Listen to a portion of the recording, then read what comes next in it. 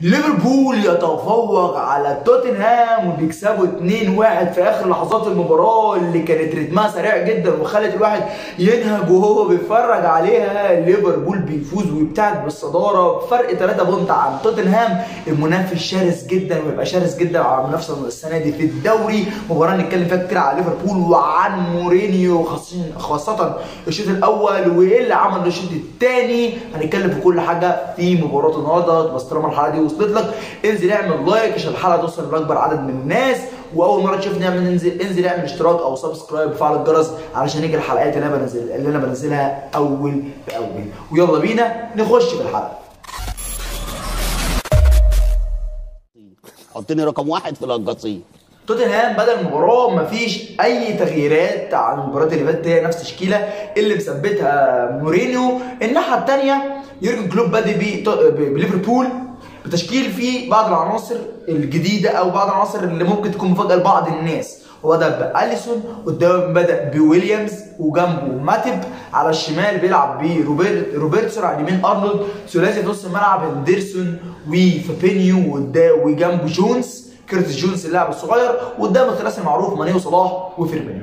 طول الشوط الأول مورينيو ساب الكورة لليفربول قال لليفربول اعمل اللي انت عايزاه. أنا مش عايز الكورة. أنا مش عايز الاستحواذ. أنا هلعب على تقفيل المساحات هضيق المساحات هقفل بين الخطوط والعب على المرتدة واخطفك بالمرتدات بس اللي خلانا نشوف توتنهام الشوط الأول شكله سيء إن إحنا تقريبا كنا بنشوف نسخة من مورينيو مع مانشستر يونايتد أيام آه، نسخة مورينيو مع مانشستر يونايتد.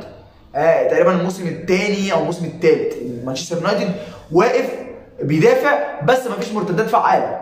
ده اللي كنا بنشوفه إن ليفربول ماسك الكورة مستحوذ بينقل الكورة بكل سلاسة براحته جدا. مفيش ضغط شرس من لعيبة توتنهام. آه ليفربول بيتحرك في الملعب زي ما هو عايز. ليفربول بيوصل لمرمى آه توتنهام. حتى توتنهام مدافع. فانت كنتش فاهم يعني مورينيو بيعمل إيه؟ أنت بتدافع يا معلم المفروض أنت بتدافع. مضايق المساحات مخاني لعيبة ليفربول ما تخليهاش توصل للمرمى. لكن ليه أنت تخلي لعيبة ليفربول توصل للمرمى؟ وتهددك وتشوط عليك الشوط الأول سبع شوطات سواء على المرمى أو بره المرمى وتشوط عليك سبع شوطات. فأنت كده يا معلم ما بتدافعش. إيه يا معلم؟ الشوط الأول كان غريب من توتنهام. ليفربول الناحية الثانية كان ماسك كورة كان بيعمل اللي هو عايزه في المباراة. ليفربول الشوط الأول كان يستحق جدا يخرج بجون واثنين وممكن ثلاثة كمان. لأن ليفربول كان بيتحرك كويس جدا. الثلاثي الهجومي بتاع ليفربول كان بيتحرك كويس جدا. صلاح ما كانش ثابت في مكان لا كان عمال يتحرك يتحرك يتحرك. فيرمينيو كمان ما كانش ثابت في مكانه وعمال يتحرك. وماني الثلاثي الهجومي كان عمال يتحرك. وبيخرج بره مركزه وبيبقى out position كتير جدا علشان يفضي مساحات لبعض اللعيبة. كنا بنشوف عرضيات بلا جدوى عرضيات مش مميزة جدا من لعيبة ليفربول عرضيات مش هتفيد كتير كنت المفروض تلعب على الأرض عشان تضرب التكتل الدفاعي. ضغط يعني pass pass pass pass pass pass pass pass هتخرج لعيبة من أماكنها عشان تضغط عليك فيبقى في مساحة في ظهرها. ده اللي كان المفروض يعمل. كنا شايفين الشوط الأول برجوين وسيسوكو الاثنين في نص الملعب مش قادرين يجاروا ليفربول. هما كانوا يعني الثلاثي وبرجوين وسيسوكو ولوسيلسو. مش قادرين يواكبوا سرعة ليفربول. الريتم سريع سريع سريع سريع سريع. ليفربول إيه يا معلم. بالراحه اهدى اهدى. أنا كنت قاعد الملعب- الماتش بنهج. قاعد بدينا كنت بتفرج على المباراة. المباراة رتمها سريع. المباراة ما بتقفش pass pass pass. رتم سريع. شوطات بترجع كورة. pass. بس اللي كنت أنا مستغربه إن ده مش توتنهام اللي عارفينه. مش ده توتنهام اللي كنا شايفينه مثلا ضد مانشستر سيتي. ضد مانشستر سيتي توتنهام ما كانش بيوصل مانشستر سيتي للمرمى أساسا. كان مضايق المساحات جدا كان خانق سيتي كان مضايق الاستحواذ استحوذ زي ما انت عايز بس الاستحواذ سلبي وكان بيروح بيضرب بالمرتدات لكن النهارده ضد ليفربول انت سايب الاستحواذ لليفربول ولكن انت سايب الاستحواذ. وليفربول بيوصل للمرمى وليفربول بيضيع ليفربول بيهدف فيك وانت مش بتعمل المرتدات كما قال. كان كل مرتدة ليفربول كان آه، توتنهام بيحاول يعملها كان بت- بتتعطل سواء من نص الملعب أو مدافعين. اللاعب الصغير اللي اسمه ويليامز ده لاعب تقيل لاعب مميز في الحتة الدفاعية. لاعب المفروض يثبت اقدامه جنب ماتب الأيام الأيام اللي جاية. لاعب مميز جدا بصراحة. شفناه النهارده آه، مش من الشباب المهزوزة لأ لاعب واقف على رجله. واللاعب التاني النهارده اللي لفت انتباهي وكان فعلا مميز جدا واللي كان باين اللي هو لأ اللاعب ده كبير قوي قوي قوي هو كيرتس جونز. كيرتس جونز لاعب لسه صغير تقريبا عنده 19 ولا 20 سنة. لاعب بنشوف النهارده شخصية بيستلم الكرة في نص الملعب مش خايف من حاجة بيستلم ويعدي ويباصي شوط اول كيرتس جونز كان نجم المباراة كان نجم الشوط الأول. كان بيستلم الكرة بين الخطوط كويس جدا كان بيستلم الكرة بيعدي من لاعب والتاني كويس جدا كان بيطلع كرات ما بين الخطوط لفيرمينيو ومن لصلاح ولماني كويس جدا. صلاح شاط كورة بالراحة خبطت آه راحت في نص الجون. بعد كده الجون اللي جابه جون هو شاط الكورة شو شوطة رزعه رزع الكورة فهي خبطت في ألدرفيرلد وطلعت فوق ونزلت الجول الأول لليفربول كان بصراحة من وجهة نظري ليفربول بالأداء اللي كان عامله الشوط الأول إن هو يستحق إنه يخرج من الشوط الأول كسبان مش متعادل. لأن الأداء بتاع توتنهام الشوط الأول أداء سيء. توتنهام مش بيضغط دي أول حاجة. مش بيضغط على الحامل الكرة سايب ال- الكرة ليفربول يحضر براحته من ورا ويقدم لقدام ويوصل لنص الملعب ويوصل بين الخطوط ويعمل اللي هو عايزه. ده ما كنتش فاهم ليه توتنهام كان بيعمل كده. توتنهام في الماتشات اللي فاتت اللي كنا بنشوف فيها بيدافع هو آه كان بيدافع واه كان خانق اللعب واه كان بيضايق مساحات على المنافس ولكن كان بيضغط على حامل الكورة. كنا ضد سيتي كان بيضغط على دي بروين كان بيضغط على على برناردو سيلفا. ما كانش بيدي اللعيبه الحريه أو حرية الحركة إن هو يسيبه اللي هو اعمل اللي أنت عايزه لا.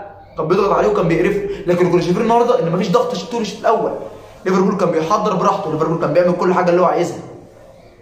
ولكن ولكن ضربة حظ مرتدة في جول بس عايز أقف عند حاجة صغيرة قوي قوي قوي الفار بتاع الدوري الإنجليزي. أنا أنا نفسي حد في ال comments يخش يفهمني الفار بتاع الدوري الإنجليزي. هو الفار بتاع الدوري الإنجليزي القوانين بتتغير على ليفربول بس. يعني قوانين الدوري الإنجليزي أو فار الدوري الإنجليزي بيتغير على على ليفربول بس علينا إحنا بس. مش فاهم بجد. يعني كورة تقريبا شبه شبه كورة سون مع ماني في ماتش إيفرتون في الديربي ديربي الميرسيسايد اللي فات. بت- بتتحسب offside إزاي؟ مش فاهم. قال لك مش عارف في حتة من إيده معدية بسنتيمتر أو بمليمتر إزاي بقى؟ وجيت كره النهارده قلت لا ده على نفس الخط. ما طبقتش إن الميكروسكوب بتاع الفار يبين مثلا ممكن شعرايه أو طرف من جزمة سون تكون معدية. لا. كورة نفس الخط يلا احسبوا الجول فأنت قوانين الفار بتطبق أو بتتغير على ليفربول بس مش عارف. مش عارف بصراحة.